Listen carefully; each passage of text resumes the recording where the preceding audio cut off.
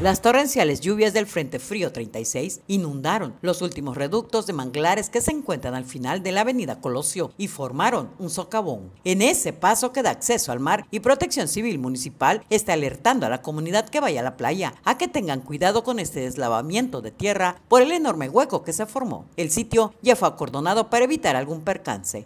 Encontramos en la playa de acá a la altura de la avenida Colosio al final y estamos viendo que se trata de este pequeño socavón de la conexión del mismo manglar de cenote que hay en esta área. Entonces aquí eh, la recomendación es que las personas que visiten esta, este acceso a la playa lo hagan de forma cuidadosa, sobre todo porque es un área de manglar que ha sido eh, rellenada para la conexión con la playa.